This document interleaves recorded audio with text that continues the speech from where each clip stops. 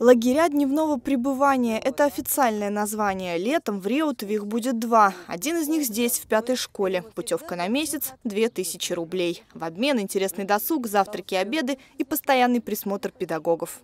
Дети здесь будут э, работать на тренажерах так, как им нравится. Но, естественно, это все будет под присмотром учителя физкультуры.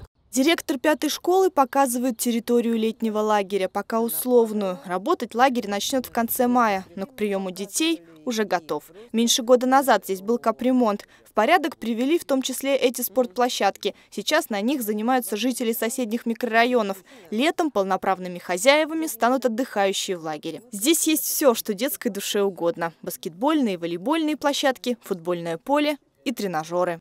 А, может быть, соревнования по ритмике, а, различные а, конкурсы. Легко поставить стулья обратно, и дети смогут смотреть спектакль.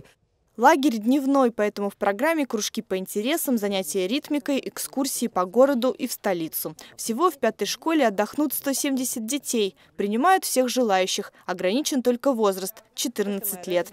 Предпочтение дадут тем, у кого родители на работе. Еще один лагерь будет на севере города, в первой школе. Анна Чернова, Алексей Оводов для РТВ.